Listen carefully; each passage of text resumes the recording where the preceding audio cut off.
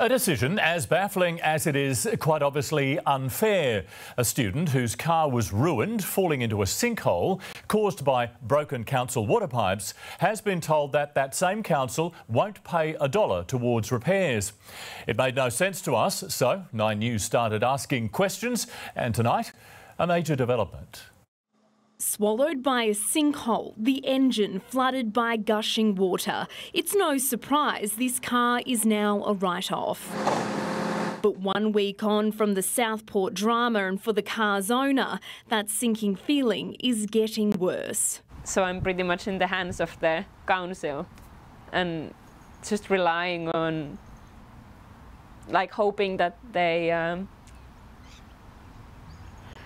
are making decisions considering my position. Riina Haapala's Peugeot wasn't insured, and now Gold Coast City Council says it won't be paying for the damage, even though it was a city water main that burst, causing the collapse that wrecked the car. I really don't understand how they cannot be liable for this. In a letter, Council effectively says legally it's not their problem because the water main was well within the expected life parameters for these installations as it was upgraded in 2004 and the event was out of Council's knowledge or control. Because she's an international student, she's got no means to cover this.